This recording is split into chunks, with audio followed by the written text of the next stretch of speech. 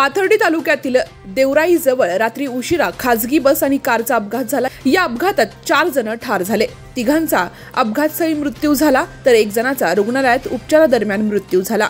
रामभाऊ शंकरराव कदम राहणार बीड रामेश्वर लक्ष्मण काळे राहणार परभणी केशव विठ्ठल बोराटे राहणार जालना असे मृतकांचे नावं आहेत. तालुक्यातून जाणाऱ्या कल्याण विशाखापट्टण राष्ट्रीय महामार्गावरती सोमवारी रात्री दोनच्या सुमारास त्रिभुवनवाडी शिवारात खासगी बस ही पुण्याहून नांदेडकडे जात होती.